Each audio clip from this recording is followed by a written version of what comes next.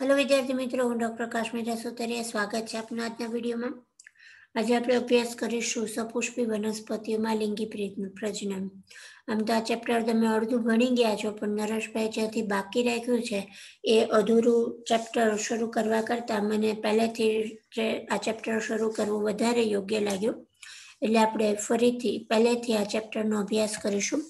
આજના વિડીયોમાં આપણે અભ્યાસ કરીશું પુંકેસરની રચના, લઘુ બીજાણુધાની અને પરાગરજ વિશે. વિદ્યાર્થી મિત્રો, અગિયારમા ધોરણમાં આપણે મોર્ફોલોજી એટલે કે બાહ્યાકાર વિદ્યાનો અભ્યાસ કરી ગયા. સપુષ્પી વનસ્પતિની બાહ્યાકાર વિદ્યામાં આપણે પુષ્પીય રચનાનો પણ અભ્યાસ કરી ગયા છે. અને ત્યાં આપણે વાત કરેલી કે પુષ્પ જે છે તે આવૃત બીજધારી અથવા તો સપુષ્પી વનસ્પતિનું લિંગી પ્રજનન માટેનું પ્રરોહનું વિશિષ્ટ રૂપાંતરણ છે. રરો એટલે કે પ્રકાંડ. પ્રકાંડનો અગ્રકલિકા અથવા તો પ્રકાંડની કક્ષ કલિકા છે તે પુષ્પીય ભાગ, પુષ્પીય રચનામાં વિભેદિત થતી હોય છે. શા માટે આ પુષ્પની રચના જરૂરી છે વનસ્પતિ માટે? તો પુષ્પ જે છે તે ખાસ કરીને લિંગી પ્રજનન માટેનું વિશિષ્ટ રૂપાંતરણ છે. એટલે કે તેમાં લિંગી પ્રજનન અંગોનો સમાવેશ થાય છે. લિંગી પ્રજનન અંગો તરીકે તેમાં પુકેસર અને સ્ત્રી કેસર ચક્ર હોય છે. ફરીથી અગિયારમા ધોરણમાં જે મોર્ફોલોજી તમે ભણ્યા છો એની ટૂંકમાં આપણે વાત કરી દઈએ કે પુષ્પની રચનામાં અહીંયા પુષ્પનો ઊભો છેદ દર્શાવ્યો છે. અહીંયા માત્ર નામ નિર્દેશિત આકૃતિ દોરો એવો પણ પ્રશ્ન પૂછી શકે. પુષ્પના ઊભા છેદની માત્ર નામ નિર્દેશિત આકૃતિ દોરો એવો પણ પ્રશ્ન પૂછી શકે. એટલે આકૃતિ મોર્ફોલોજીમાં મોર્ફોલોજી પોર્શનમાં તમે અભ્યાસ કરી ગયા છો. બરાબર? ચાર પુષ્પીય ચક્રો છે, વજ્ર ચક્ર જે સૌથી બહાર તરફ છે, તેનાથી અંદર તરફ દલચક્ર છે. દલચક્રથી અંદરની તરફ તો કે પુકેસર ચક્ર અને સૌથી અંદરની તરફ સ્ત્રીકેસર ચક્ર છે. જેમાં વજ્ર ચક્ર સૌથી બહાર તરફ ગોઠવા અને રક્ષણાત્મક આવરણ પૂરું પાડે છે. કલિકા અવસ્થામાં તેમજ પુષ્પ ખીલ્યા બાદ પણ આ જે બીજાશયનો ભાગ છે, તેને રક્ષણ આપવાનું કાર્ય કરે છે. દલચક્ર જે છે તે મોટા આકર્ષક અને વિવિધ રંગના હોય છે, વિવિધ આકારના હોય છે. એટલે એ પરાગનયનની પ્રક્રિયા માટે કીટકોને આકર્ષવાનું કામ કરે છે. પુકેસર પુકેસર ચક્ર જે છે એ પુકેસરોનું બનેલું છે અને પુકેસરની અંદર પરાગરજ ઉત્પન્ન થાય છે, જે નરજન્યુનું નિર્માણ કરે છે. અને સ્ત્રીકેસર ચક્ર એ સ્ત્રીકેસર ચક્રના પાયાના ભાગે ફૂલેલું બીજાશય હોય છે, જેની અંદર અંડકો હોય છે. એટલે આમ આ ચાર પુષ્પીય ચક્ર, જેમાં વજ્ર ચક્ર અને દલ ચક્ર જે છે તેને સહાયક પુષ્પીય ચક્રો કહેવાય અને પુકેસર ચક્ર અને સ્ત્રીકેસર ચક્રને આવશ્યક પુષ્પીય ચક્રો કહેવાય. શા માટે? તો પુકેસર ચક્ર અને સ્ત્રીકેસર ચક્ર એ નર અને માદા પ્રજનન અંગો છે કે જે લિંગી પ્રજનનની પ્રક્રિયામાં સંકળાય છે. અને નરજન્યુ અને માદા જન્યુનું નિર્માણ કરે છે. જ્યારે વજ્રચક્ર અને દલચક્ર જે છે તે પુષ્પીય ભાગોનું રક્ષણ કરવાનું અને પરાગનયનની ક્રિયાને ક્રિયા માટે કીટકોને આકર્ષવાનું કામ કરે છે. એટલે તે સહાયક પુષ્પીય ચક્ર છે. મોર્ફોલોજીના આધારે આવો પુષ્પીય રચનાને લગતા આવો એક પ્રશ્ન પણ પૂછી શકાય છે.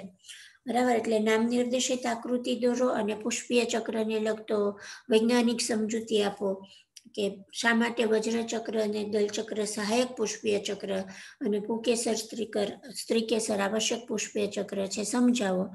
તો એનો આ જવાબ આપણે ટૂંકમાં વાત કરી મોર્ફોલોજી પોર્શનમાં એ વસ્તુ ડિટેલમાં આપેલી છે. એટલે આવૃત બીજધારી વનસ્પતિનું આકર્ષક અંગ જે ખરેખર તો લિંગી પ્રજનનની ક્રિયા માટે રૂપાંતરિત વિશિષ્ટ પ્રરોહ છે. લિંગી પ્રજનનના ત્રણ તબક્કાઓ તમે પહેલા ચેપ્ટરમાં અભ્યાસ કરી ગયા છો. પૂર્વ ફલન ફલન અને પશ્ચ ફલન. જે અંતર્ગત વનસ્પતિ આવૃત બીજધારી વનસ્પતિના સંદર્ભમાં સૌથી પહેલા આપણે પૂર્વ ફલન રચનાઓ અને ઘટનાઓની વાત કરીશું.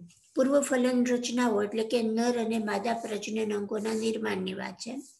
આપણે વાત કરી તેમ વનસ્પતિમાં પુષ્પ જે છે તે લિંગી પ્રજનન માટેનું પ્રરોહનું વિશિષ્ટ રૂપાંતરણ છે. હવે પુષ્પની રચના માટે તો કે કેટલાક અંતસ્ત્રાવી અને રચનાત્મક ફેરફારો જવાબદાર છે.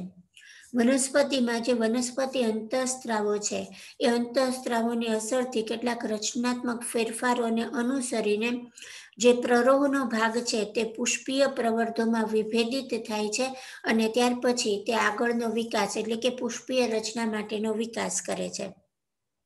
એટલે સૌથી પહેલા પુષ્પકલિકાને ધારણ કરતો પુષ્પ વિન્યાસ સર્જાય છે, જે પણ તમે મોર્ફોલોજીમાં ભણી ગયા છો પુષ્પ વિન્યાસ અને તેના પ્રકારો. એટલે પુષ્પ વિન્યાસ તો કે પુષ્પને ધારણ કરતી ધરી છે. એટલે પુષ્પ કલિકાઓ ધરાવતો સૌથી પહેલા પુષ્પ વિન્યાસ નિર્માણ પામે છે અને એ પુષ્પ વિન્યાસમાં રહેલી પુષ્પ કલિકાઓ ત્યાર પછી વિકાસ પામી અને પુષ્પનું નિર્માણ કરે છે. અને આ પુષ્પની અંદર તો કે નર અને માદા પ્રજનન અંગો તરીકે પુકેસર સ્ત્રીકેસર હોય છે. પુકેસર ધરાવતું જે ચક્ર, પુકેસર ચક્ર, જે નર પ્રજનન અંગનું પ્રતિનિધિત્વ કરે અને સ્ત્રીકેસર ધરાવતું સ્ત્રીકેસર ચક્ર, માદા પ્રજનન અંગનું પ્રતિનિધિત્વ કરે છે. એટલે આ પૂર્વ ફલન રચનાઓ થઈ, નર પ્રજનન અંગો અને માદા પ્રજનન અંગો જેમાં પણ આજે આપણે ડિટેલમાં પુકેસર, લઘુ બીજાણુધાની અને પરાગરજની રચના વિશે અભ્યાસ કરીશું. તો આ જે રચના અહીંયા બતાડેલી છે એ પુકેસરની છે. પુકેસરની રચનામાં એક લાંબો તંતુ હોય છે અને એ તંતુના આગળના ભાગે દ્વિખંડી પોલી કોથળી જેવી રચના હોય છે, જેને પરાગાશય કહેવાય છે. પુકેસરનો આ પરાગાસનથી નજીક રહેલો આ જે છેડો છે, તેને નિકટવર્તી છેડો કહેવાય અને એ પરાગાસન સાથે જોડાયેલો હોય છે. જ્યારે આ દૂરવર્તી છેડો છે, તે પરાગાશય સાથે જોડાય છે. તંતુ અને પરાગાશયનું જોડાણ કરતો જે ભાગ હોય છે તેને યુજી કહેવાય છે, જેનો અહીંયા ઉલ્લેખ નથી, પણ મોર્ફોલોજીમાં આપણે ભણી ગયા છે કે પરાગાશય અને તંતુને જોડતી રચના જે છે તે યોજી કહેવાય છે. અને યોજી મારફતે પરાગાશયનું જોડાણ છે તંતુ સાથે વિવિધ રીતે થયેલું હોય છે, જે પરાગનયની પ્રક્રિયામાં ખૂબ અગત્યનો ભાગ ભજવે છે. પુકેસરની રચનામાં આજે તંતુની લંબાઈ છે તેમાં જુદા જુદા પુષ્પમાં ઘણી વિવિધતા જોવા મળે છે. એવી જ રીતના સંખ્યામાં પણ ઘણી વિવિધતા જોવા મળે છે. જે તમે મોર્ફોલોજીમાં સારી રીતના અભ્યાસ કરી ગયા છો એટલે આપણે અહીંયા ફરીથી તેનો ઉલ્લેખ કરતા નથી. જુદી જુદી જાતિના પુષ્પમાં પુકેસરની સંખ્યામાં ઘણી બધી વિવિધતા છે. તંતુની લંબાઈમાં પણ વિવિધતા જોવા મળે છે. લાક્ષણિક આવૃત બીજધારી વનસ્પતિમાં સૌથી પહેલા જો પરાગાશયની વાત કરીએ, આપણે પુકેસરની રચનામાં તંતુના છેડે જે દ્વિખંડીય પોલી કોથળી જેવી રચના છે તેને પરાગાશય કહેવાય છે. એ દ્વિખંડીય છે. આકૃતિ આપણે જોઈએ તો પરાગાશય આ પરાગાશયનો આડો છેદ છે. દ્વિખંડીય આ એક ખંડ અને આ બીજો ખંડ. અને એમાંય પાછા દરેક ખંડમાં તો કે બે બે કોટર છે, એટલે કે દરેક ખંડ છે તે દ્વિકોટરીય છે. એટલે આ રીતે આપણે જોઈએ તો પરાગાશય જે છે તે ચતુષ્ખંડીય રચના તરીકે જોવા મળે છે. પરાગાશયમાં ચાર ખંડો જોવા મળે છે, બરાબર? લઘુ બીજા જે પરાગાશય છે એ દરેક ખંડમાં બે બીજા કોટર છે, એટલે પરાગાશય એ ચતુકોટરીય. આ એક કોટર, આ બીજું કોટર, આ ત્રીજું ને ચોથું. આમ જોઈએ તો પરાગાશયના બે ખંડો. અહીંયાથી આપણે જોઈએ.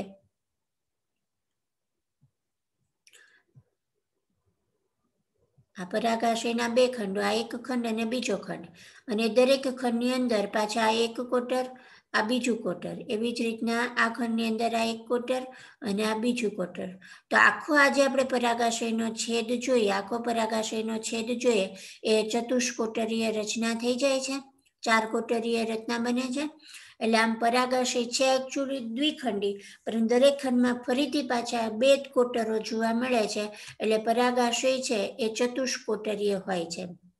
ઘણીવાર લંબાઈ અનુસાર આવેલી આયામ ધરીની ખાંચ વડે બે ખંડો એકબીજાથી છૂટા પડે છે. આપણે અહીંયા આકૃતિ જોઈ તેમાં આયામ ખાંચ છે. આ આયામ ખાંચના લીધે તો કે એક અને બે ખંડો એકબીજાથી જુદા પડે છે. દ્વિખંડી અને દરેક ખંડમાં બીજા બે કોટર હોય છે. પરાગાશયના અનુપ્રસ્થ છેદની હવે આપણે વાત કરીએ તો આપણે કીધું તેમ દ્વિખંડીય રચના સ્પષ્ટ રીતે દેખાય છે. પરાગાશયની ચાર બાજુઓ ધરાવતી ચતુષ્કોણીય રચના છે. અહીંયા આપણે જોઈએ આકૃતિમાં તો આ ચતુષ્કોણીય રચના છે. આ એક, બે, ત્રણ ને ચાર બાજુ ધરાવે છે અને એના દરેક ખૂણે તો કે લઘુ બીજાણુધાની છે. આ જે ગોળ બતાડ્યું છે એ લઘુ બીજાણુધાની છે. દરેક ખૂણે તો કે એક એક લઘુ બીજાણુધાની છે તે ગોઠવાયેલી હોય છે. અને દરેક ખંડમાં આપણે કીધું તેમ આ દરેક ખંડમાં આ જે કોટર છે, બબ્બે કોટર છે, બબ્બે કોટર એટલે લઘુ બીજાણુધાની છે. લઘુ બીજાણુધાનીનો આગળ વિકાસ પામે, લઘુ બીજાણુધાનીનો આગળ વિકાસ પામે અને પરાગ કોથળીઓમાં પરિણમે છે. લઘુ બીજાણુધાનીનો જેમ પરાગાશયનો જેમ જેમ ક્રમશઃ વિકાસ થતો જશે, તેમ તેમ લઘુ બીજાણુધાની કઈ રચનામાં વિભેદિત થશે? તો કે પરાગ કોથળીમાં વિભેદિત થશે. તેઓ પરાગાશયની લંબાઈને અનુસરીને આયામ રીતે ગોઠવાયેલી પરાગરજથી ભરેલી હોય છે અને અંતે એમાં પરાગરજનું નિર્માણ થઈ જાય ત્યારે એમાં શું ભરેલું હોય છે તો કે પરાગરજ ભરેલું હોય છે. પરાગરજ ભરેલી પરાગ કોથળી હોય છે. લઘુ બીજાણુધાનીની અંતસ્થ રચનાની જો આપણે વાત કરીએ તો જ્યારે પરાગાશય તરુણ હોય છે ત્યારે તેમાં સઘન રીતે ગોઠવાયેલા સમજાત કોષોનો સમૂહ લઘુ બીજાણુધાનીની મધ્યમાં હોય છે, જેને બીજાણુજનક પેશી કહેવામાં આવે છે. આકૃતિ જોઈએ? બરાબર, તો આકૃતિ જે છે એ આટલા ભાગ, આ બીજા, આ એક લઘુ બીજાણુધાની છે, એ લઘુ બીજાણુધાનીની અંદર આ જે અંદરનો આ જે વિસ્તાર છે, તેમાં સઘન રીતે ગોઠવાયેલી પેશી જોવા મળે છે, જેને બીજાણુજનક પેશી કહેવામાં આવે છે. બરાબર? આજે, આ દરેક જે લઘુ બીજાણુધાની છે, તેમાં વચ્ચેના ભાગમાં અહીંયા સઘન એટલે કે એક સળંગ સ્તરમાં ગોઠવાયેલા કોષો હોય છે, જેને બીજાણુજનક પેશી તરીકે ઓળખવામાં આવે છે. ત્યાર પછી આડાછેદની જે લાક્ષણિકતાઓ જોઈએ છે, તે આડાછેદની લાક્ષણિકતામાં પરાગાશયની બાહ્ય સપાટી ગોળાકાર જોવા મળે છે અને એ ચાર દિવાલના સ્તરોથી આવરિત હોય છે. તંતુમય સ્તર અધિસ્તર તંતુમય સ્તર મધ્ય સ્તર અને પોષક સ્તર. અહીંયા આપણે જોઈએ તો આ જે ભાગ છે, આ ભાગને અહીંયા એનલાર્જ કરીને બતાડ્યો છે. આ ગોળાકાર સપાટી અને ગોળાકાર જે ભાગ છે, તેમાં ચાર સ્તરો છે. બરાબર છે? અધિસ્તર છે, પછી સ્ફોટી સ્તર છે પછી મધ્ય સ્તર છે અને ત્યાર પછીનું આ અંદરની તરફનું તો કે પોષક સ્તર છે. એટલે કે લઘુ બીજાણુધાનીની દિવાલના ચાર સ્તરો છે. કયા ચાર સ્તરો? અધિસ્તર સ્ફોટી સ્તર મધ્ય સ્તર અને પોષક સ્તર. એમાંના જે બહારના ત્રણ સ્તરો છે તે રક્ષણાત્મક અને પરાગાશયનું સ્ફોટન પ્રેરે છે. જ્યારે સ્ફોટન પ્રેરી અને પરાગરજને મુક્ત કરવામાં મદદરૂપ બને છે. કયા બહારના ત્રણ સ્તર? તો કે અધિસ્તર સ્ફોટી સ્તર અને મધ્ય સ્તર એ ત્રણ બાહ્ય, બહાર તરફના સ્તરો છે, કે જે ખાસ કરીને રક્ષણાત્મક આવરણ બનાવે છે અને પરાગાશયના સ્ફોટનમાં મદદરૂપ બને છે. જેના લીધે પરાગરજ છે તે પરાગાશયમાંથી મુક્ત થાય છે. જ્યારે સૌથી અંદર તરફનો જે પોષક સ્તર છે, એ પોષક સ્તર વિકસતી પરાગરજને પોષણ પૂરું પાડે છે. આપણે હમણાં ચારેય સ્તરો વિગતવાર અભ્યાસ કરીએ છીએ, બરાબર? એટલે ત્રણ સ્તરો, બહારના ત્રણ સ્તરો, રક્ષણાત્મક આવરણ અને પરાગાશયના સ્ફુટનના કાર્યમાં મદદરૂપ બને છે. જ્યારે અંદરનું જે પોષક સ્તર છે તે પરાગરજને પોષણ પૂરું પાડે છે. અધિસ્તરની વાત કરીએ તો સૌથી બહારનું એક સ્તરીય જાડું સતત અને રક્ષણાત્મક આવરણ છે. સતત શું કામ કીધું છે? તો કે સળંગ હોય છે. આ જે આવરણ છે તે સળંગ હોય છે, બરાબર? એટલે એને સતત આવરણ કીધું. હજી આગળ અહીંયા જોઈએ તો આ અધિસ્તર છે. સળંગ છે. અધિસ્તર સળંગ છે. બરાબર? આખા આ જે આ રચના છે, એ રચનામાં અધિસ્તર તો કે સળંગ હોય છે. અને રક્ષણાત્મક આવરણ છે. ત્યાર પછી અધિસ્તરથી નીચે તરફ તો કે તંતુમય સ્તર અથવા તો સ્ફુટી સ્તર છે. આની પહેલા વાત કરી દઉં, પછી હું તમને આકૃતિમાં બતાડું. અધિસ્તરથી તરત જ નીચે આવેલું છે અને સ્ફુટી સ્તર શું કામ કીધું છે? તો કે પરાકાશીના સ્ફોટનમાં તે અગત્યનો ભાગ ભજવે છે. હવે અહીંયા તંતુમય સ્તર અથવા તો સ્ફુટી સ્તરની રચના કરતા કોષો જે છે તેની બાહ્ય દિવાલ પાતળી હોય છે. બહાર તરફની જે દિવાલ છે તે પાતળી છે, પરંતુ જે અંત દિવાલ તેમજ તેની જે અરીય દિવાલ છે, તેમાં આલ્ફા સેલ્યુલોસ તંતુઓના ઘટ થવાના કારણે તે જાડી બને છે. આ રચના એટલા માટે સમજ, ટેક્સ્ટબુકમાં નથી, પરંતુ પરાકાશીના સ્ફોટન માટે આ સમજવું જરૂરી છે. એટલે તંતુમય સ્તરના કોષોની બાહ્ય દિવાલ પાતળી છે. પરંતુ અંદરની એટલે કે અંતઃ દિવાલ અને અરીય દિવાલ એ આલ્ફા સેલ્યુલોસ તંતુઓ ઘટ થવાના કારણે તો કે જાડી હોય છે. ટૂંકમાં, બાહ્ય દિવાલ પાતળી છે, અંતઃ દિવાલ અને અરીય દિવાલ જાડી છે. અંતઃ દિવાલ અને અરીય દિવાલ જાડી હોવાનું મુખ્ય કારણ શું છે? તો કે આલ્ફા સેલ્યુલોઝના તંતુઓના ઘટ થવાના કારણે તે જાડી હોય છે. આ ઉપરાંત અરીય દિવાલ સાથે કેલોસ પટ્ટા પણ આવેલા હોય છે. પરંતુ કેટલાક વિસ્તારો એવા છે કે ત્યાં આગળ તંતુઓ અને કેલોસ પટ્ટાઓ ગેરહાજર જોવા મળે છે, એટલે કે ત્યાં હોતા નથી. અને પ્રમાણમાં એ વિસ્તાર છે તે પાતળો હોય છે, જેને રંધ્રક કહેવામાં આવે છે. અને આ રંધ્રક વિસ્તાર જે છે ત્યાંથી જ પરાગાશયનું સ્ફોટન થાય છે. એટલે આ તંતુમય સ્તરની જે રચના છે તે પરાગાશયના સ્ફોટનમાં અગત્યનો ભાગ ભજવે છે. અહીંયા આપણે જોઈએ તો આજે છે, આખું આજે રચના છે પરાગાશય અહીંયા આ રંધ્રક બને છે. આ જે ભાગ છે, ત્યાંથી પાતળું સ્તર હોય. અત્યારે તો આ પરાગાશયનું સ્ફોટન થઈ ગયેલું બતાડે છે. બરાબર? પણ આ સ્તર અહીંયા એકદમ પાતળું હોય છે, જ્યાંથી પરાગાશયનું સ્ફોટન થાય છે. અને આ જે વિસ્તાર, આ જે ભાગ છે, તેને રંધ્રક કહેવામાં આવે છે. એટલે કે ખાસ કરીને અહીંયા આ સ્ફોટી સ્તર, પછી સ્ફોટી સ્તરની આ બહાર તરફની દિવાલ થાય, જે પાતળી છે. અને આ એની અંતઃ દિવાલ થાય અને આ એની અરીય દિવાલ થાય. અંતઃ અને અરીય દિવાલ જે છે તે બાહ્ય બાહ્ય દિવાલ કરતાં પાતળી, જાડી હોય છે. અને જાડું હોવાનું કારણ તો કે સેલ્યુલોસ તંતુ ઘટ થયેલા હોય છે બહારની દિવાલ કરતાં. અને એના કારણે તો કે ખાસ કરીને સ્ફોટનમાં એક ખૂબ અગત્યનો રોલ જોવા મળતો હોય છે. હવે આ જે ભાગ છે તે મોટા ભાગે સળંગ સ્તરો, સ્ફોટી સ્તરોમાં બધા કોષોમાં આવી રચના છે તે જોવા મળે છે.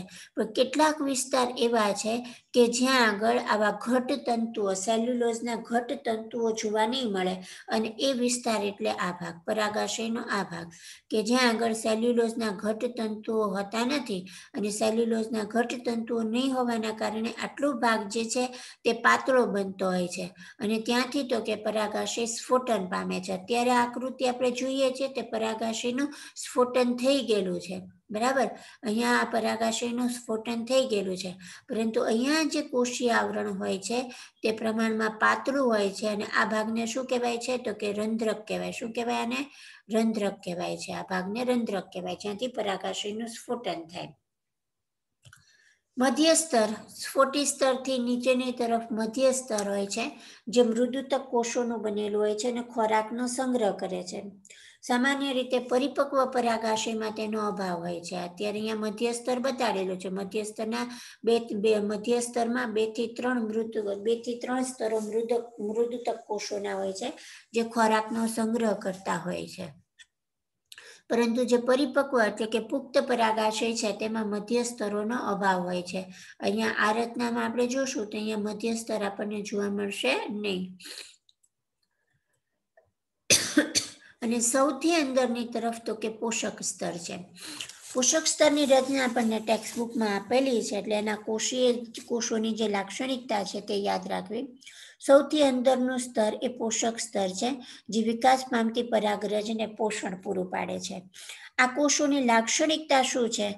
તો કે આ કોષો ઘટ કોષરસ ધરાવે છે અને સામાન્યત એક કરતાં વધુ કોષ કેન્દ્ર પણ ધરાવે છે.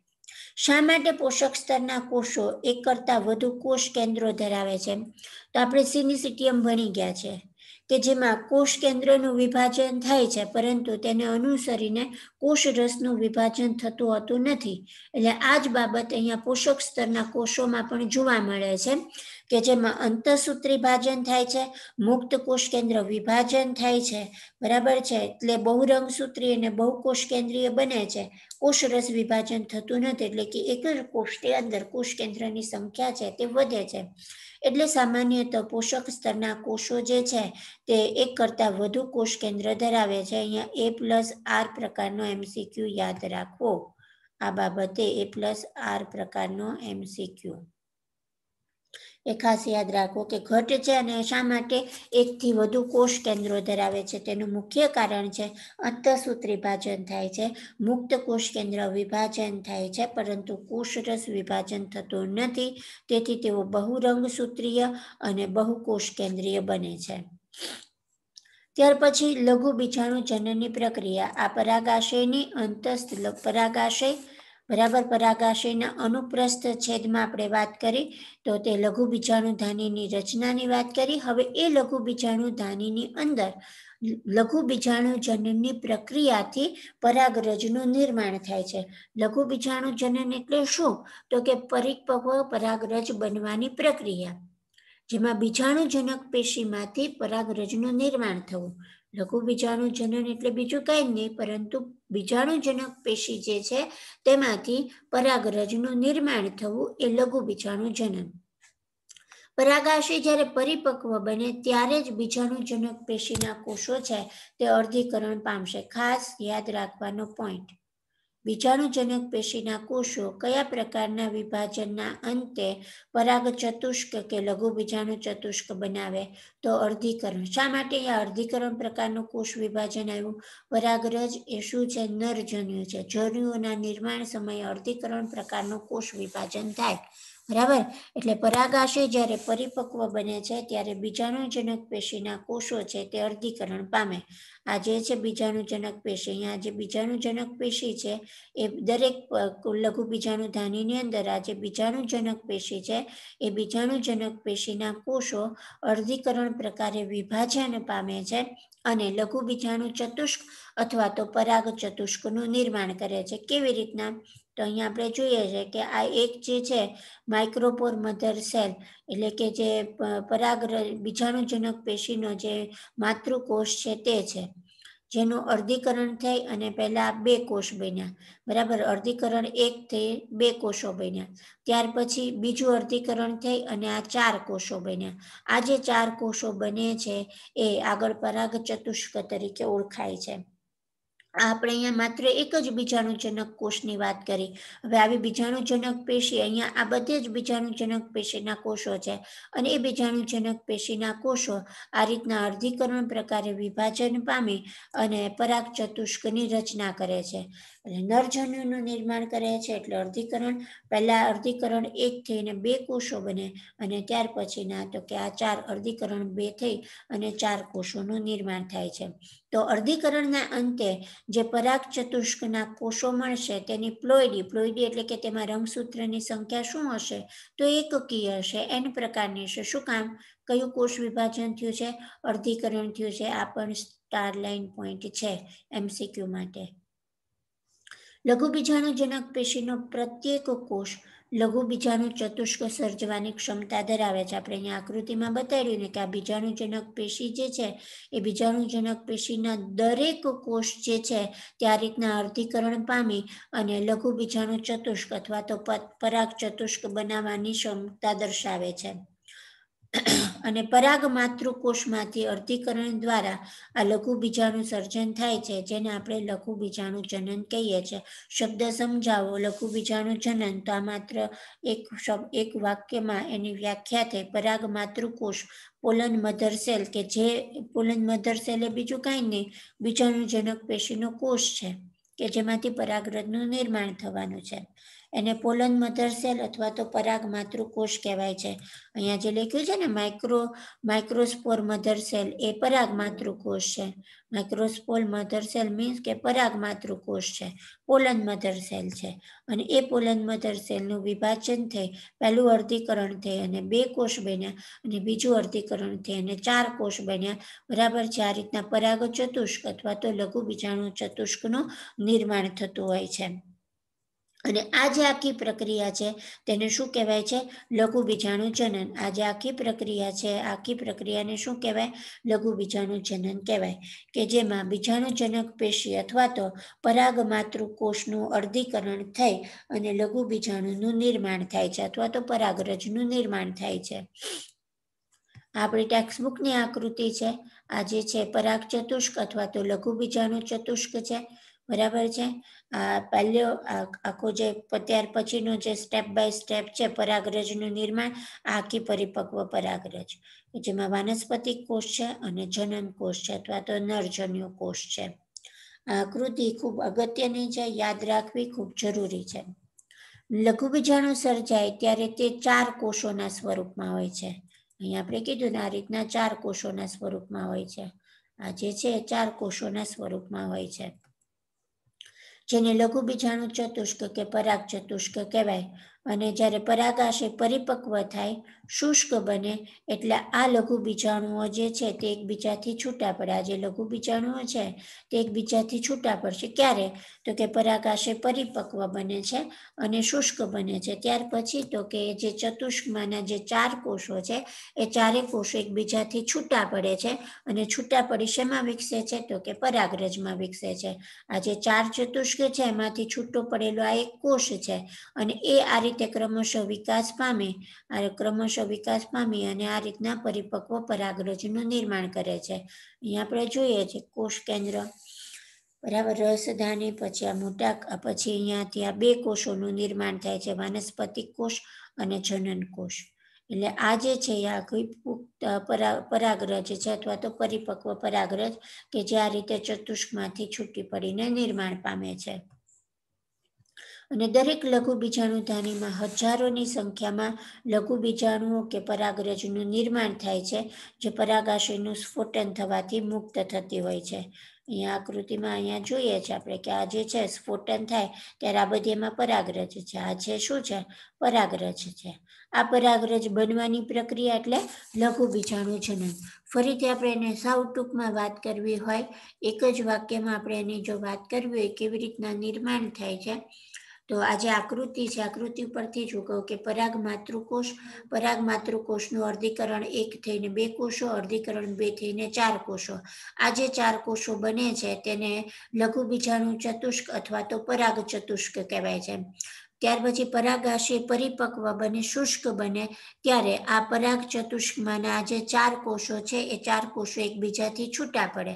બરાબર? અને આમાં એમાંનો એક કોષ અહીંયા બતાડ્યો છે, જે ક્રમશઃ વિકાસ પામી અને આ રીતના તો કે પરાગરજનું નિર્માણ કરે છે. પરાગરજ હજુ કેવી રીતના પરિપક્વ થશે? એ પરાગરજની પ્રક્રિયા, પરાગરજના નિર્માણની પ્રક્રિયામાં આપણે અભ્યાસ કરીશું.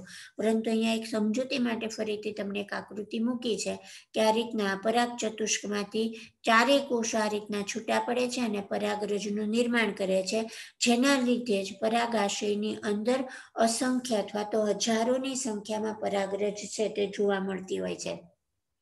જે પરાગાશયનું સ્ફોટન થતા વાતાવરણમાં મુક્ત થતી હોય છે. તો વિદ્યાર્થી મિત્રો, આ વાત કરીએ આપણે પુકેસરની રચના. અહીંયા હવે જે પ્રશ્ન પૂછાવાની શક્યતા છે, એની જો હું વાત કરી દઉં, તો મોટો પ્રશ્ન એવું પૂછાઈ શકે પૂર્વ ફલન રચના અને ઘટનાઓ સવિસ્તર સમજાવો. તો ત્યાં તમારે પુકેસરની રચના સમજાવવાની રહે પુકેસરની રચનામાં સમજાવ્યા પછી લઘુ બીજાણુ ધાનીની રચના છે પરાગાશયના આડા છેદની રચના છે. આ સ્તરો તમે ડિટેલમાં તમારે જ્યારે વર્ણનાત્મક પ્રશ્ન લખવાનો છે ત્યાં તમારે ટેક્સ્ટબુકના પોઈન્ટને જ વળગી રહેવાનું છે, પરંતુ તંતુમય સ્તર અત્યારે મેં તમને નીટના સંદર્ભમાં સમજાવ્યું છે. એટલે એ ચારેય સ્તરોની જે માહિતી છે માહિતી હોવી જરૂરી છે અને લઘુ બીજાનું જનન. એ પૂર્વફલન ઘટના તરીકે, પૂર્વફલન ઘટના, માત્ર પૂર્વફલન ઘટના પૂછી હોય, બરાબર છે? તો એ પૂર્વફલન ઘટનામાં તમારે લઘુ બીજાણુ જનનની પ્રક્રિયા છે તે સમજાવવાની થાય. સીધે સીધું લઘુ બીજાણુ જનન પૂછે અથવા તો પૂર્વફલન ઘટના પૂછે, પૂર્વફલન રચનાઓ પૂછે. તો એમાંથી આ રીતના ઘણા બધા પ્રશ્નો છે તે બની શકે એવા છે. વર્ણનાત્મક બે માર્કના, ત્રણ માર્કના અને ચાર માર્કના. આશા છે કે આપને આજના ટોપિક સારી રીતના સમજાણો છે થેન્ક યુ